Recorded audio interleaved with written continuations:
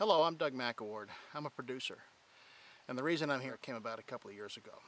It's a bit of a long story, but here's the Reader's Digest version. A friend of mine in Kaplan, Louisiana, Carlin Hanks, had a friend in Lufkin, Texas, Rick Hendry, who had a friend in Tetlin, Alaska, Danny Adams, that wanted to open a duck hunting camp. Danny Adams is the chief of the Tetlin tribe of the Athabascan Indians. They own approximately a million acres, 200 miles south of Fairbanks.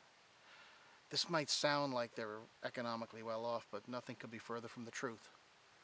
Most of these people there live a subsistence lifestyle. That means they live off the land. They can trace their roots back some 15,000 years, but they only recently put a road in 12 years ago. Before that, it was, if you didn't have a bush plane, it was a 25 mile ride down that river to get in and out of that village. I couldn't wait to go. After spending a few days hunting ducks in the middle of nowhere by day and being mesmerized by the aurora borealis at night, Chief Danny invited me to his moose camp for a couple of weeks. Some people may have certain qualms about hunting in general, but you've got to understand that if we weren't successful, there would be a lot of people in that village starving that winter. I met a lot of people over the next few weeks. Some of the elders would come visit us for a couple of hours, some for a couple of days. They would talk about the old days and share their stories about growing up Athabascan. I was fascinated by their stories. Their culture, their music, their lost language, and their ability to survive all those years in a harsh place that most of us could never imagine. I knew right then that their story needed to be told. I made four trips back to Alaska since then, and on two of those trips I brought a camera with me to start shooting this project. Last September, my wife Linda and I spent three weeks interviewing everyone from chiefs in Tanacross and Tetlin to professors at the University of Alaska Fairbanks, to Athabascan musicians, to Gwich'in authors. You can't find a more friendly, generous group of people anywhere. And it's about time everyone out there gets to hear their story and learn about the part of American history that belongs to them. These natives won't be able to tell their story without your help. Take a look at our 10 minute trailer and let us know what you think so far. Thanks. History is written by the victors. Ownership of this quote may be in question, but no one can dispute its accuracy, especially when it's applied to modern day Indians and their vanishing culture. The Indian tribes inhabiting what is now known as Alaska settled there some 15,000 years ago. Other than missionaries and a few trappers and traders, the white man was virtually non existent in these territories before the mid 19th century. In this part of America, the relationships that developed between the white man and the Indian were far more peaceful than in the lower 48. There were no bloody battles like those associated with the settling and taming of the West. In Alaska, there existed a different kind of war, a culture war that still brews to this day.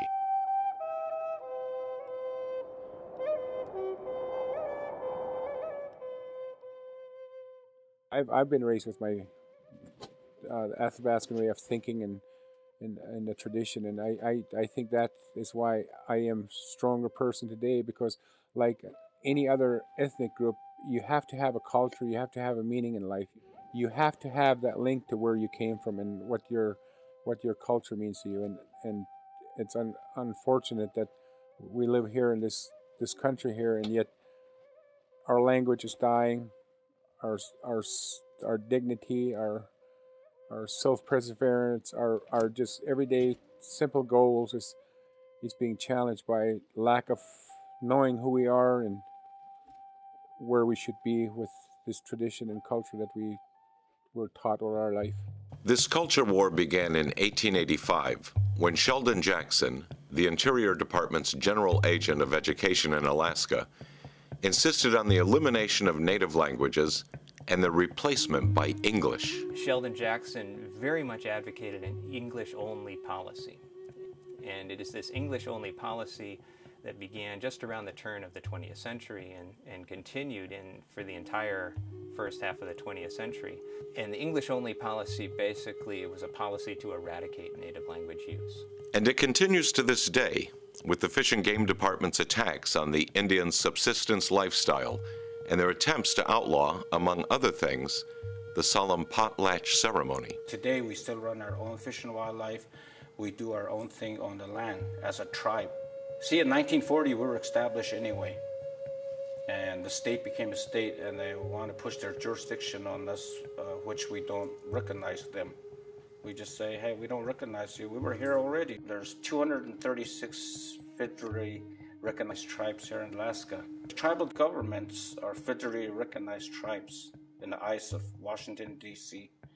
And uh, for them to be able to exercise their sovereignty, they have to be educated. They got to know what's going on. We're always, as Native people, I think, going to hold our culture precious to ourselves. You know, we love our stories, we love our moose meat, we love our fish, we love our beadwork, we love our, our elders, and that's always going to be with us. It's going to be with my children because they got that. You know, they got that, that nuance for me. Culture is dynamic, right? The fact that fiddle traditions can arrive and be adopted into an environment, and that's a good thing, I think, right? That culture is dynamic enough to absorb that and to embrace it and create something new and create an entirely new Athabascan fiddling tradition. You, sometimes you'll hear a jig being played by somebody like Bill Stevens, but Bill can also play um, the Yellow Rose of Texas or um, Eagle Island Waltz or one of these other tunes that is Eagle Island is an indigenous tune, but it's in that Western swing tradition.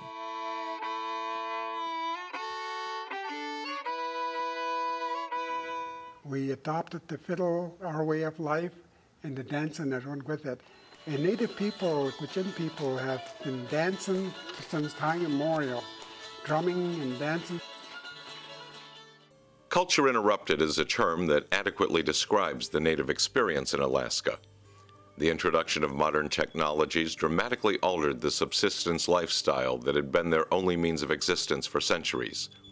These new technologies now required the use of dollars, a currency that had never existed before. This forced the natives to live between two worlds. Time when I wrote the book, I see there's a couple of different cultures. This is your culture, you guys' culture.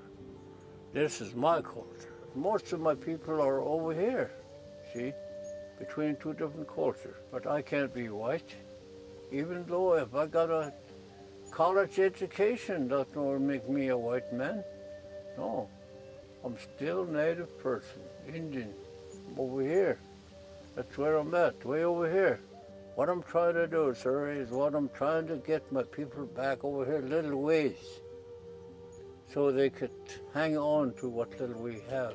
I knew that I had to get the Western Society of Education, which is the greatest thing that I ever done, and yet hang on to my tradition because whether I'm in a city or an urban area where, where or I'm at a moose camp, or I'm back home with my uh, in my village stuff. I, I, both sides works for me. I like to think of um, technology and products being assimilated into our culture and how we use it, but we still don't intend to let go of our subsistence lifestyle. So as much as my heart is still in Fort Yukon and by the Yukon River, and and my heart is still with the land in Fort Yukon, I I kind of am in this self-exile for my children's sake now because I know that they would have a harder time in the village.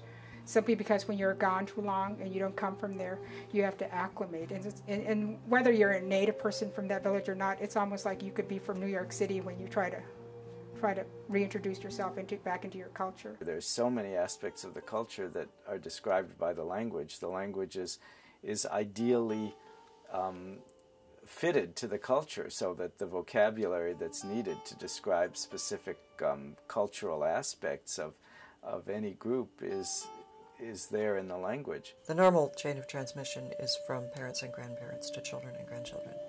That's how things usually work. It's how language works. It's how traditions work. But uh, their tradition has gotten interrupted by uh, economic change and political change. It was not until 1992 that we got passed the first U.S. Native American Language Act, which stated for the very first time that Native American languages were fully as American as English itself. The Morris Thompson Cultural and Visitor Center opened in 2008 in Fairbanks. The center's mission is not only to educate, but also to preserve and celebrate the art and culture of the Athabascan tribes of the Upper Tanana region. We really want to get our young kids back on track to learn traditional cultural values, to learn their native language, to learn their native dances. We want our young kids to learn to know how to put potlatch on. So 50 years from now, they could do a potlatch for their own kids or their own family. The potlatch has a very long history and importance in Native culture. It is a solemn ceremony practiced by many in Alaska. It can commemorate a particular event in one's life, be conducted in honor of a loved one, a first successful hunt, the return of an individual after a long absence or illness, and the most solemn being the death of an individual.